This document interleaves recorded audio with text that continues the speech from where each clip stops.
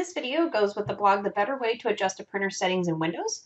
So you can see here I've opened up Windows settings. Once Windows 10 came out, uh, Windows included a settings icon or cog in your Windows, um, the Windows Start menu.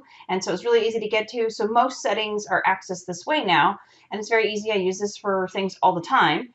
But there is a better way than this. If you go this way to access your printer settings, you have to open settings like I have, go to devices, click on printers and scanners, click on a printer, say manage, and now say printer properties, just to get the printer properties.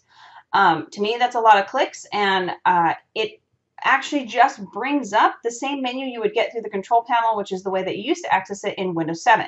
So for me, I prefer to use the control panel. So I'm just going to type into search. I'm going to start typing control panel and click on control panel. And then from here, you can click on devices and printers, right click on the printer and say printer properties.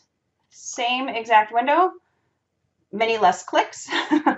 um, and these, these over here are going to bring up this older version of the control panel. They're basically just two pathways to the exact same information. Um, the reason that this is better is not just the number of clicks. It isn't just, you know, how many clicks it took to get here, you, you know, using this way, but it's if you have used Windows 10 for a while and you have run updates, you will know that these settings menus change sometimes. And so what's in here and the order that these are in will often change. And this happens even when I do my blog sometimes where I'll show pictures and stuff, but things change over time. So what happens is these settings get rearranged or the menus get changed a little bit, and then it's harder to follow the instructions.